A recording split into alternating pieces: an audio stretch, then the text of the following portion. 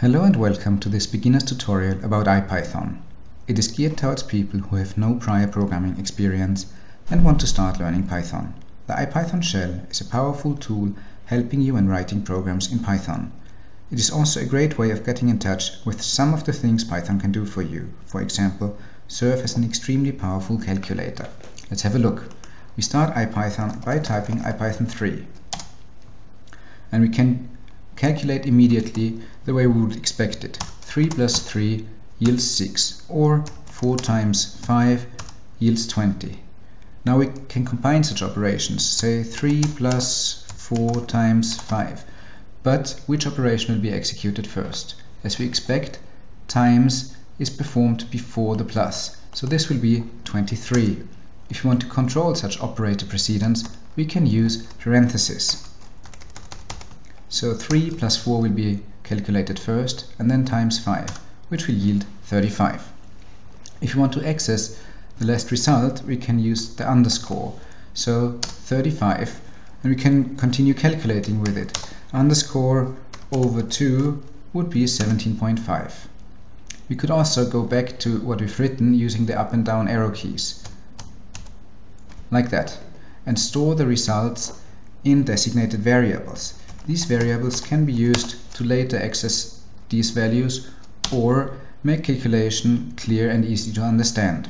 Say if we want to calculate the terminal value of an investment, we can say terminal value equals our investment 100 euros times 1 plus 0.03 that means 3% interest to the power of 4 so we invest for 4 years and the terminal value is 112.55 euros.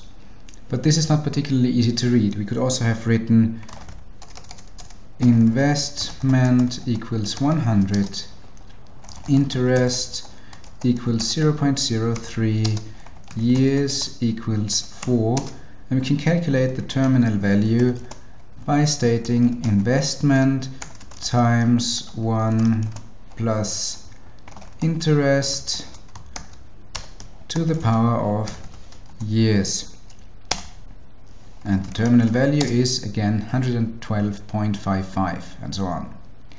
You might have seen that it looks like I'm typing pretty fast, but actually IPython helps me. If I just start typing a variable name and the variable name is unique, then I hit the tab key, IPython will auto-complete it.